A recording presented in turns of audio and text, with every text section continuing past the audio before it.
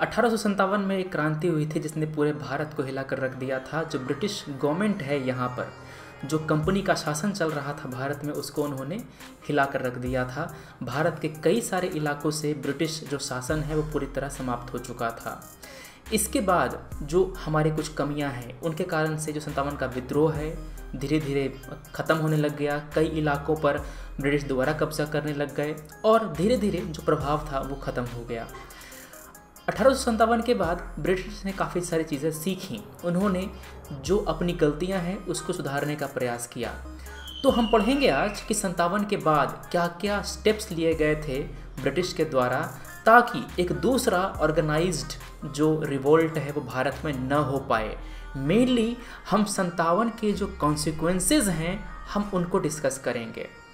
British government ने अपनी politics में, अपने प्रशासन में उनके जो पॉलिसीज़ हैं, चाहे वो धार्मिक पॉलिसीज़ हों, सामाजिक पॉलिसीज़ हों, उनमें और कई सारे अलग अलग डोमेन हैं, वहाँ पर बदलाव किए, हम उन सब के बारे में पढ़ेंगे।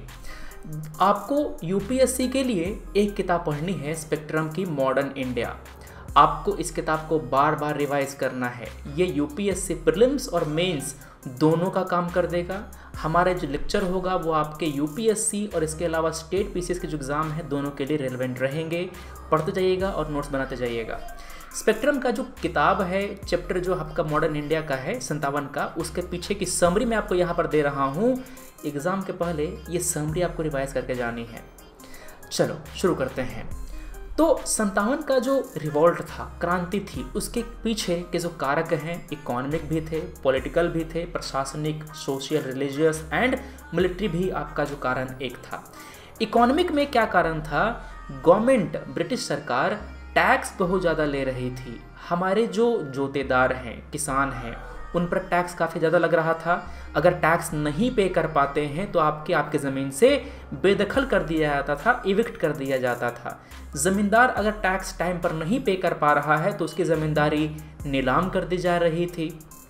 इसी तरह से उस समय का जो अवध है, अवध का जो एरिया था, वहाँ पर काफ़ी सारे जो ज़मींदार हैं, उनकी ज़मींदारी को नीलाम कर दिया गया था। टैरिफ पॉलिसी मतलब कि export import policy British one way free trade policy implement कर रहे थे। क्या कर रहे थे? One way free trade free trade ये क्या होता है सर भारत से जो माल यूरोपियन मार्केट में जा रहा है, उस पर टैक्स काफ़ी ज़्यादा लग रहा था। मतलब एक्सपोर्ट ड्यूटी काफ़ी ज़्यादा लग रही थी। मगर जो माल भारत में आ रहा था, ब्रिटेन से बन के उस पर टैक्स ज़ीरो लग रहा था। मतलब उस पर कोई टैक्स नहीं लगा रहा था। इसी कारण से ब्रिटेन के जो इम्पोर्ट थे इंडिया में, काफ़ी सस्ते पड़ रहे थे। ब्रिटेन का जो माल है, हमारे भारत में लाकर भर दिया गया। इससे क्या हुआ? जो ट्रेडिशनल हैंडीक्राफ्ट है, हमारे जो कारखाने हैं, वो सब लॉस में चले गए धीरे धीरे नष्ट हो गए। तो हमारे यहाँ डी इंडस्ट्रियलाइजेशन देखने को मिला।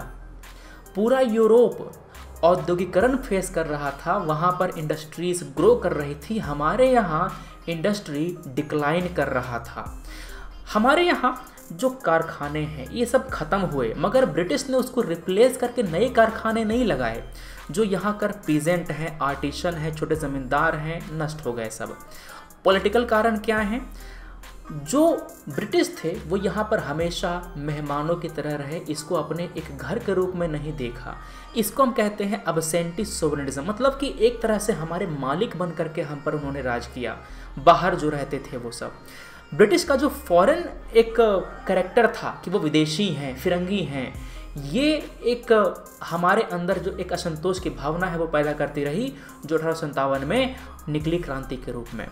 प्रशासनिक जो प्रशासन है, जो छोटा लेवल का जो कर्मचारी है ब्रिटिश सरकार का, वो बहुत ही ज़्यादा घूस में लिप्त था, करप्शन में लिप्त था। सीधा प्रभाव पड़ा हमारी आम जनता पर। जनता का जो सबसे ज़्यादा इंट्रैक्शन होता है, वो होता है लोकल लो प्रशासन से, जो होता है ना, छोटे तबके के प्रशासनिक अधिकारी, उनसे होता है। बड़े अधिकारी से तो कांटेक्ट ही नहीं है, उनसे तो काम ही नहीं पड़ना तो करप्शन के कारण बहुत ज़्यादा लॉस हो रहा था, जो समस्या झेलनी पड़ रही थी हमारे लोगों को। दूसरा, धार्मिक और सामाजिक कारण भी थे। ब्रिटिश जो थे, उन्होंने सामाजिक सुधार को काफ़ी ज़ोर दिया। उनको, उनका कहना ये था कि इन लोगों को सिविलाइज्ड बनाना हमारा काम है। जो ब्रिटिश के जो के जो ईसाई मिशनरी थे वो भारत में आए, उन्होंने कन्वर्ट करना शुरू किया तो एक जो अविश्वास का भाव है हमारे अंदर, वो पैदा हुआ ब्रिटिशर्स के प्रति और वो सब आकर के निकला संतावन की क्रांति में। आगे, मिलिट्री के तो कागजात आपको पता ही है, आपने छोटे में पढ़ा था, वो कारतूस वाला समस्या था प्लस जो हमारे सिपोई बाहर काम करने जाते थे, बाहर जब पोस्टिंग होती थी तो तो उनको विदेशी भत्ता देने से मना कर दिया। जैसे कि उनको अगर पोस्टिंग कर दी गई सिंध में, ध्यान सुनना उस समय का भारत आज के भारत से अलग था। वहाँ पर भारत का कोई कॉन्सेप्ट ही नहीं था। उस समय ये रजवाड़े और मतलब इन समय बटा हुआ था। भारत का हम जो आज नक्शा देखते हैं, वो नक्शा पहले नहीं था। आइडेंटिटी नहीं थी भारत की उस समय संतावन में।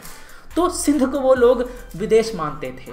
तो कहते थे कि हम सिंध में हम काम करने जा रहे हैं तो हमको विदेशी भत्ता दो। ब्रिटिश कहते थे कि नहीं है तो भारत का पार्ट है, हम भत्ता क्यों दें? तो उन्होंने भत्ता नहीं दिया, असंतोष की भावना थी, कई सारे कारण थे। तो ये मेन कारण है संतावन के रिवोल्ट का।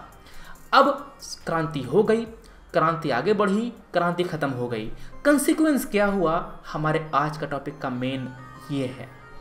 ध्यान सुनना, प्रशासन में क्या बदलाव किए? प्रशासन में ब्रिटिश पार्लियामेंट ने एक कानून पास किया act for British government of India अठारह ये जो कानून था ना, वो ब्रिटेन के पार्लियामेंट में पास किया गया था, ब्रिटिश संसद में पास किया गया था।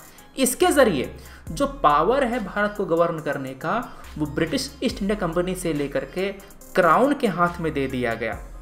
मतलब कि अब ब्रिटेन के क्राउन के हाथ में मतलब कि वहाँ का महारानी के हाथ में सत्ता चली गई और महारानी के जगह, देखो महारानी के हाथ में सत्ता गई। मगर महारानी नहीं, महारानी के जगह पर वहाँ का जो पार्लियामेंट है, वहाँ की जो सरकार है, वो गवर्न करेगी इंडिया को। मतलब कि जो पावर था, वो सेक्रेटरी ऑफ़ स्टेट के हाथ में चला गया। ये कौन था? ये ब्रिटेन के मंत्रिमंडल का एक मंत्री था। जैसे कि भारत का मंत्रिमंडल है ना? मोदी जी हैं, हमारे वित्त मंत्री हैं, रक्षा मंत्री हैं, उसी तरह से। ब्रिटेन का जो मंत्रिमंडल था, वहाँ का जो मंत्रिमंडल है ना उसमें एक मंत्री का नाम था सेक्रेटरी ऑफ़ स्टेट ठीक है? Secretary of state of India इस व्यक्ति को ज़िम्मेदारी दी गई कि तुम भारत का जो प्रशासन है, वो संभालो। मान लो कि कल होकर के भारत कोई कॉलोनी एक्वायर करता है पाकिस्तान, मान लो। तो हम लोग अपने यहाँ एक बना सकते हैं डिपार्टमेंट कि मिनिस्टर ऑफ़ पाकिस्तान अफेयर्स समझ रहे हो बात? तो भारत का मंत्रिमंडल सदस्य होगा ना वो? Minister of Pakistan affairs minister of Nepal affairs इस तरह से। मैं एग्ज़ाम्पल दे रहा हूँ। हम लोग का कोई वैसा वो नहीं है। ठीक है ना? इंटेंशन नहीं है। भारत एक शांति प्रिय देश है। हम लोग ने कभी किसी पर आक्रमण नहीं किया है। कभी किसी पर ऐसा नहीं किया है। क्लियर बात? तो अल्टीमेट पावर जो भारत के ऊपर है, वो चला गया ब्रिटेन का जो सत्ता है, वहाँ का एग्जीक्यूटिव वहाँ का पार्लियामेंट उसके ऊपर, उसके पास। आर्मी में क्या बदलाव किए गए? हमने देखा कि भारत की जो आर्मी थी उस समय, जो ब्रिटिश आर्मी थी, उस समय बंगाल के जो सिपाही हैं, वो ढेर सारे थे। अवध के सिपाही हैं, वो ढेर सारे थे। अब उस समय यूरोपियन काफ़ी कम थे आर्मी में। अब किया गया कि यूरोपियन का संख्या बढ़ाया गया। बंगाल आर्मी में दो पर एक होगा ब्रिटिश मद्रास और बॉम्बे आर्मी में पाँच पर दो होगा। क्यों सर? मद्रास और बॉम्बे में क्यों कम होगा? क्योंकि वो इलाके शांत थे। वो इलाके रिलेटिवली शांत थे क्रांति के दौरान।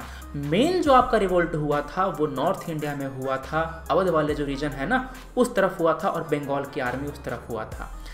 जो ब्रिटिश का मोनोपोली है, वो इंश्योर किया गया।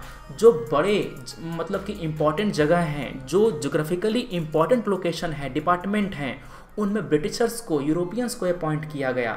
सेना में अगर कोई भारत का सिपोई है तो वो सूबेदार का पद के ऊपर नहीं पहुँच सकता था, चाहे आप कितने भी टैलेंटेड हो, आप कितने भी साल काम कर लें। जो ऑफिसर रैंक हैं उसमें केवल ब्रिटिश केवल यूरोपियन ही अलाउड थे ताकि प्रशासन में केवल यूरोपियन रहें भारत के जो लोग हैं उनको ऊँचा पद नहीं दिया जाता था। जो रिक्रूटमेंट पॉलिसी है मतलब कि सत, सेना में खास करके सिख को गुरखा को और पठान को वरीयता दी जाती थी क्योंकि सिख गुरखा ने हेल्प करी थी ब्रिटिश को संतावन की क्रांति को दबाने में। आगे, जो कास्ट और कम्युनल कंपनीज़ हैं, वो कंपनी मतलब कि सेना में जो दल होते हैं ना, वो। तो कास्ट के आधार पर कम्युनिटी के आधार पर जो ये दल है, वो बनाए गए थे ताकि दो, जो दल अलग अलग हैं, वो एक साथ ना आ पाए। दोनों में एक दूसरे के प्रति विरोध पैदा किया जाता था। मान लो कि एक कंपनी ने रिवोल्ट किया तो दूसरी कंपनी उस पर गोली मारने के लिए तैयार रहेगी।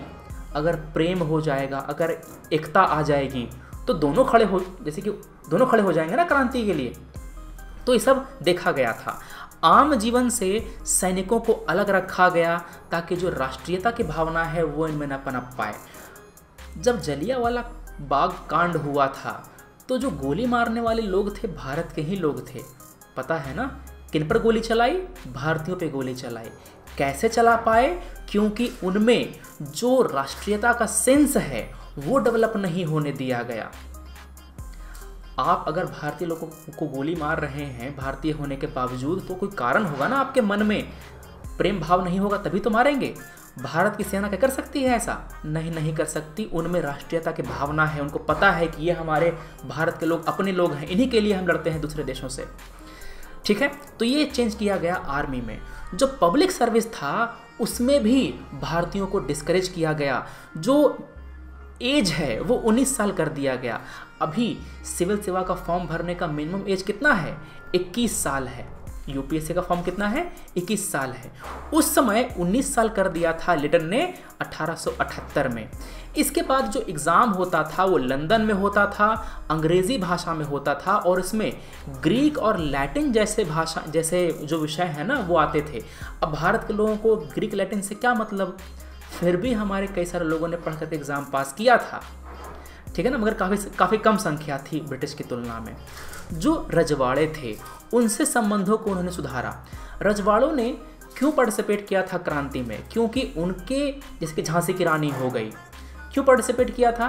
क्योंकि उनके राज्य को हड़पने जा रहे थे। डलहौजी वगैरह की पॉलिसी थी ना? डॉक्टर ऑफ़ लैब्स वगैरह। तो इसी कारण से सब्सिडरी अलायंस जो साइन किया जाता था वेलेसली वगैरह का जो पॉलिसी था उस सबको सुधारा गया।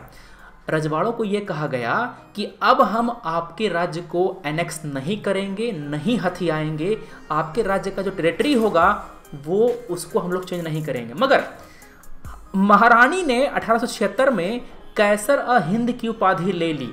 मतलब कि महारानी रजवाड़ों से ऊपर आ गई। जो पैरामाउंटेसी है, वो अप्लाई कर दिया गया। मतलब कि ये तुम्हारा राज्य है। तुम इसके राजा हो। मगर महारानी तुम्हारे ऊपर होगी। समझ गए ना?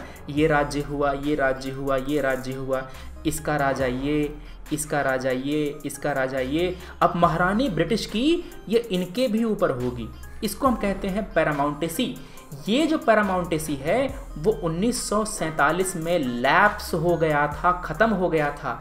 इसी पैरामाउंटेसी के लैब्स होने के बाद रजवाड़ों ने कहा कि अब हम दोबारा स्वतंत्र होंगे। हैदराबाद, त्रावणकोर, जूनागढ़, ये सभी राज्य यही सपना देख रहे थे, जम्मू कश्मीर, हरि सिंह, कि हम लोग अब स्वतंत्र होंगे क्योंकि महारानी का पैरामाउंटेसी ख़त्म हो रहा है हमारे ऊपर। महारानी हमारे, महारानी नहीं रहेगी। उन्होंने कहा कि जो इंटरनल अफेयर है उसमें हम इंटरफेयर कर सकते हैं क्योंकि हम महारानी हैं और तुम राजा के हम ऊपर हैं। क्लियर है? तो ये मेन चेंजेस किए गए थे। प्रशासनिक पॉलिसी में फूट डालो राज करो। इसका तो पालन किया ही गया था। जो पढ़े लिखे भारतीय थे उससे दुश्मनी रखी गई क्योंकि पता था कि क्रांति केवल पढ़े लिखे लोग ही ला पाते हैं वही लो, वही लोगों को जागरूक कर पाते हैं। ज़मींदार को उन्होंने अपना एलाई बना लिया। जमींदार को बोला कि तुम आराम से तुमको जो शोषण करना है जनता का, तुम करो, तुमको हम सुरक्षा देंगे। जो सामाजिक सुधार कर रहे थे पहले ब्रिटिश, सब छोड़ दिया। बोला कि तुम्हारे लिए हम कर रहे थे, तुम्हें ना दंगा कर दिया, तुम्हें आंदोलन कर दिया तो हम क्यों करें सुधार? तो जो सती प्रथा वगैरह ख़त्म किया गया था, जिसको भारतीयों ने अपने धर्म में इंटरफेरेंस माना था, वैसे सुधार को अब नहीं लिया गया बाद में। ठीक है? जो वाइट रेसिज्म है मतलब जो सुपरियोरिटी का जो कॉन्सेप्ट है, वो डाला गया कि ब्रिटिश भारतीयों से ज़्यादा सुपीरियर हैं, ज़्यादा बेहतर हैं। ये कॉम्प्लेक्स आज भी हमारे अंदर है, जो हीनता ग्रंथि है ना, वो आज भी हमारे अंदर है कि हम किसी विदेशी को देखते हैं जो गोरा है तो उसको हम अपने से अच्छा समझते हैं। मगर जो अफ्रीकन है, कोई काला है तो उसको हम उसको हम लोग अपने से ख़राब समझते हैं, नीचा समझते हैं। ये जो कलर के आधार पर जो ये जो आ गया है ना रेसिज्म ये ब्रिटिश की ही देन है हमारे अंदर। ठीक है? तो ये आपने पढ़ा कॉन्सिक्वेंस आफ्टर मैथ किसका? अठारह क्रांति का। अब मैं आपको एक सवाल दे रहा हूँ, आप इस क्वेश्चन को लिखिए। ये क्वेश्चन का आपको जवाब देना है 250 वर्ड्स में। और 15 मार्क्स का ये आपका ये क्वेश्चन रहेगा। ये क्वेश्चन जो है ना, वो आपके जी एस वन का जो टॉपिक है, उसको कवर करेगा यू यूपीएससी मेंस का। अगर आप देते हैं एग्ज़ाम बीपीएससी का यूपीपीएससी का, तब भी ये क्वेश्चन आपको करना है, क्योंकि उनमें भी क्वेश्चन ऐसे ही पूछे जाते हैं अब नए सिलेबस के हिसाब से। ठीक है दोस्तों? तो वीडियो कैसा लगा, आप बताइएगा। हम मिलते हैं अपने अगले वीडियो में। Thanks for watching take care जय हिंद।